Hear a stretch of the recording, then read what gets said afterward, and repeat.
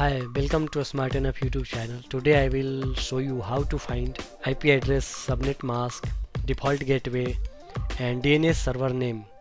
So let's start. First of all, go and click on the internet access, right click here and then select open network and sharing center. Now here you have to click on change adapter setting. Now just right click on the connected network and click on properties. Now here you have to select internet protocol version 4 then click on properties.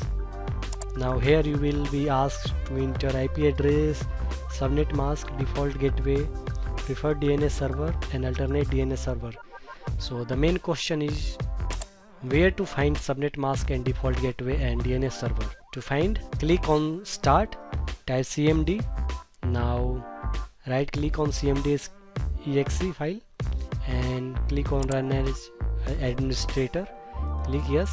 Now I have opened uh, command prompt in as administrator. So now here I will type IP config then slash all and scroll up. This is the IP address. This is the sub subnet mask and here is the DNS server names.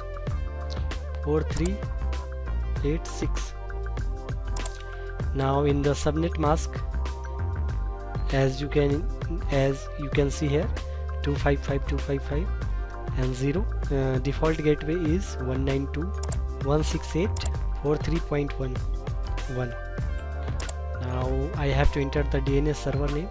So DNS server name is here. So I hope this video will help you in connecting the internet or Wi-Fi router. So thanks for watching